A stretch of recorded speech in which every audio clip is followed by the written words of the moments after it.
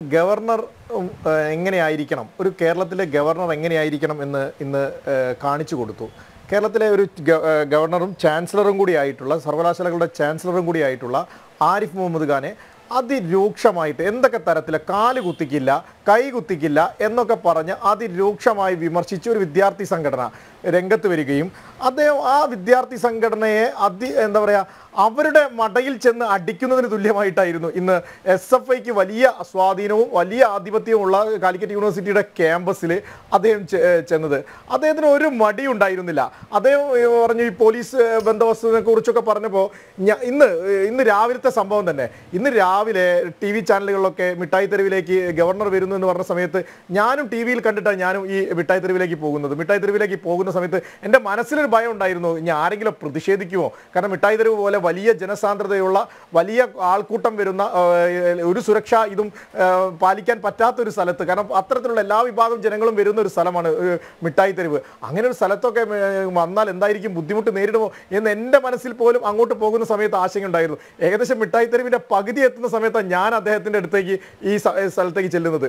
ആ സമയത്ത് ഞാൻ കാണുന്നത് അവിടുത്തെ സ്വീകാര്യത ജനങ്ങളുടെ ഇടയിൽ അദ്ദേഹത്തിന് കിട്ടുന്ന സ്വീകാര്യത.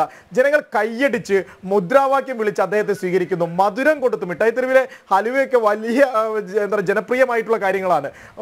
ആ ഹലുവ കൊടുത്തിട്ട് മധുരം കൊടുത്തിട്ട് സ്വീ എന്താ പറയുക കാരക്ക പോലുള്ള അണ്ടിപ്പരിപ്പ് മുന്തിരി ഇങ്ങനെയുള്ള ഓരോന്നും കൊടുത്ത് കടകളിലേക്ക് ആളുകൾ വിളിച്ച് കയറ്റുകയാണ് ഗവർണറെ വളരെ സ്വീകാര്യതയോടെ മുസ്ലിം പെൺകുട്ടികൾ മുസ്ലിം ഉമ്മമാരും ഒക്കെ വന്നിട്ട് അദ്ദേഹത്തിന്റെ കൂടെ സെൽഫി എടുക്കാൻ മത്സരിക്കുകയാണ്. എന്തൊക്കെ തരത്തിലാ? മറിച്ച് നിങ്ങൾ ആലോചിച്ച് നോക്കുക ഒരു ഒരു മുഖ്യമന്ത്രി കേരളത്തിൽ യാത്ര നടത്തുന്നുണ്ട്. എന്താണ് ആ യാത്രയുടെ അവസ്ഥ? ആ യാത്ര എങ്ങനെയാ മുന്നോട്ട് പോകുന്നത്? ആ യാത്രയ്ക്ക് ആളെ കൂട്ടുന്നത് എങ്ങനെയാ? ഇവിടെ ഒരു ഗവർണർ കാണിച്ചു കൊടുത്തു. ഞാൻ ഞാൻ ഞാൻ ചെല്ലുന്ന സമയത്ത് ഞാൻ കുറച്ച് നമ്മുടെ യുവമോർച്ച പ്രവർത്തകരൊക്കെ വിളിച്ചു. ഇങ്ങനെ ഗവർണർ മിഠായി തെരുവിലേക്ക് വരുന്നുണ്ട് എല്ലാവരും വരണം എന്നൊക്കെ പറഞ്ഞു. അവിടെ എത്തുന്ന സമയത്ത് ജനസാഗരമാണ്. ഒരാളെ പോലും വിളിച്ച് അല്ലെങ്കിൽ ഏതെങ്കിലും ഒരു തൊഴിലുറപ്പ് തൊഴിലുറപ്പിന് പോകുന്ന സ്ത്രീയെ വിളിച്ച് നിങ്ങൾ ഭീഷണിപ്പെടുത്തിയിട്ടല്ല ഇന്ന് ഗവർണറെ കാണാൻ ആയിരക്കണക്കിന് സെക്കൻഡുകൾ കൊണ്ട് അല്ലെങ്കിൽ മണിക്കൂറുകൾ കൊണ്ട് അവിടേക്ക് ആൾക്കൂട്ടം എത്തിയത്. എന്നാൽ നമ്മുടെ മുഖ്യമന്ത്രിയെ കാണാൻ എന്താ സ്ഥിതി?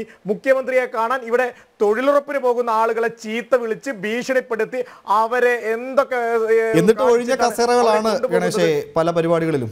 അതിനൊക്കെ ഇന്ന് മുഖ്യമന്ത്രി പറഞ്ഞത് ഇത് ചില മാധ്യമങ്ങളുടെ അജണ്ടയാണ് ഈ ഒഴിഞ്ഞ കസേര കാണിക്കുന്നത്. അത് നിങ്ങൾ കരുതിക്കൂട്ടി പ്രവർത്തിക്കുകയാണെന്നൊക്കെയാണ് അദ്ദേഹം പറയുന്നത്. നിങ്ങൾ ആലോചിച്ചു ഒരു ഗവർണർ ജനങ്ങളുടെ ജനങ്ങൾ തെരുവിൽ തടയും. ഇത് കേരളമാണ് എന്നൊക്കെയാ ഇന്നലെ കാലിക്കറ്റ് യൂണിവേഴ്സിറ്റിയിൽ രാത്രി ഇരുട്ടിന്റെ മറവിൽ വന്നിട്ട് അവർ ബാനർ കെട്ടിയപ്പോൾ അതിൽ എഴുതി വെച്ചിരിക്കുന്നത്. ഇത് കേരളം തന്നെയാണ് എന്ന് അദ്ദേഹം കാണിച്ചു കൊടുത്തു ഗവർണർ. തെരുവിലൂടെ നടന്നു. ഒരാൾ എന്താ പറയുക പോലീസോ എന്താ ആർക്ക് വേണമെങ്കിലും അവിടെ മുദ്രാവാക്യം വിളിക്കാമായിരുന്നു. കാരണം എല്ലാ വിഭാഗം ആൾക്കാരും വരുന്ന ഒരു സ്ഥലം തന്നെയായിരുന്നു. പക്ഷെ ഒരാൾ മുദ്രാവാക്യം വിളിച്ചില്ല. നിങ്ങൾ എവിടെയെങ്കിലും കണ്ടിട്ടുണ്ടോ? മുഖ്യമന്ത്രിയുടെ അടുത്തേക്ക് പോവാൻ സാധിക്കുമോ? ഒരു കണ്ടാമൃഗം ഒരു കണ്ടാമൃഗം ഈ എന്താ പറയുക ഒരു ചില്ലുംകൂട്ട് ബസ്സിൽ പോകുന്നത് പോലെ നടക്കു പോവുകയല്ലേ? ആരെങ്കിലും കാണാൻ വന്നാൽ അവൻ ഇടിച്ചു തെറിപ്പിക്കുക. ആകെ കാണാൻ വരുന്നത് കരിങ്കൊടി കാണിക്കാനും പ്രതിഷേധിക്കാനും വരുന്ന ആളുകൾ മാത്രമേ ഉള്ളൂ അവരെ ഇടിച്ച് തെറിപ്പിക്കുകയാണ്. അങ്ങനെ ഒരു കണ്ടാമൃഗം കൂട്ടിലിട്ട ബസ്സിൽ യാത്ര ചെയ്യുന്ന നവകേരള യാത്രയാണ് കേരളത്തിൽ നടക്കുന്നത്. അങ്ങനെയല്ല ഗവർണർ കാണിച്ചു കൊടുത്തത്.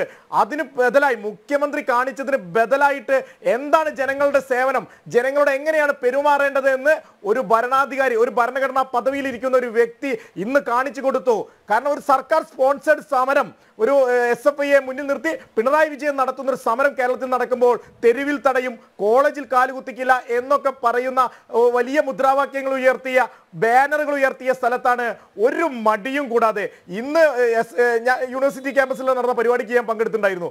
അവിടെ കിലോമീറ്ററുകൾക്ക് അപ്പുറത്ത് പോയിട്ട് സമരം ചെയ്യുക എസ് എഫ് ഐക്കാരെല്ലാരും കൂടി ചേർന്നിട്ട്. ആ പ്രദേശത്തേക്ക് ആരും വന്നിട്ടില്ല. എവിടെയായിരുന്നു എസ് എഫ് ഐ കാലുകുത്തി ഇന്നലെ ഗവർണർ വരുന്നതിന് മുന്നേ കാലുകുത്തിക്കില്ല എന്ന് പറഞ്ഞ ആൾക്കാർ പിന്നെ എഴുതിയ മുദ്രാവാക്യം അതല്ല. പിന്നെ അവർ വിളിക്കുന്ന മുദ്രാവാക്യം ഗവർണർ ഗോ ബാക്ക് എന്ന് പറയുന്ന മുദ്രാവാക്യം വിളിക്കേണ്ട ഗതികെട്ട പ്രസ്ഥാനമായിട്ട് എസ് എഫ് ഐ മാറിയിരിക്കുകയാണ്. ഇത് തെറ്റൊന്നും പറയാൻ പറ്റില്ല. എല്ലാ സ്ഥലത്തും ഇത് പശ്ചിമ ബംഗാളിലാണെങ്കിലും ത്രിപുരയിലൊക്കെ ആണെങ്കിലും ഇതുതന്നെയാണ് സംഭവിച്ചത്. അവിടുത്തെ ഭരണാധികാരികൾ ജനങ്ങളെ തല്ലിക്കൊന്നും നമ്മൾ തന്നെ പല ബുക്കുകളും വായിച്ചു. അവിടെയൊക്കെ പഞ്ചസാര ഇട്ടിട്ട് കൊന്ന് പഞ്ചസാര ഇട്ട് കുഴിച്ചു മൂടിയതിനെ കുറിച്ച് അത്തരത്തിലുള്ള സമീപനമാണ്. ഇവിടെ ആർക്കും ഇത് ചോദിക്കാൻ പറ്റുമോ? ഇവിടെ കണ്ടാമൃഗം പോലെ ഇരിക്കുകയല്ലേ കേരളത്തിന്റെ മുഖ്യമന്ത്രി? ആരെങ്കിലും ചോദിക്കാൻ പറ്റുമോ? എന്തെങ്കിലും ചോദിച്ചാൽ ആരാണ് കൂടെ വരുന്ന ഗൺമാൻ എന്ന് പേര് പറയുന്ന ആളുകൾ ഗുണ്ടകൾ ആക്രമിക്കുകയാണ്. എന്നാൽ അത് ഗവർണർക്കെതിരെ സമരം ചെയ്യാൻ വന്ന ആളുകളെ എങ്ങനെയാണ് കേരളത്തിന്റെ പോലീസ് ട്രീറ്റ് ചെയ്തത് നമ്മൾ കണ്ടു.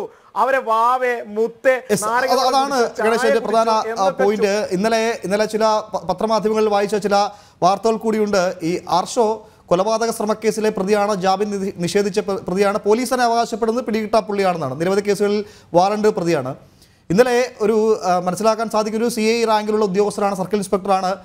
അദ്ദേഹം വിളിക്കുന്ന കേട്ടാൽ വളരെ വളരെ വളരെ ലാളനയോടുകൂടി വിളിച്ചു ചേർത്ത് എന്റെ കൂടെ വരൂ ഞാനല്ലേ വിളിക്കുന്നത് എന്റെ കൂടെ വരൂ എന്ന് വിളിച്ചു ചേർത്ത് കൊണ്ടുപോവുകയാണ്.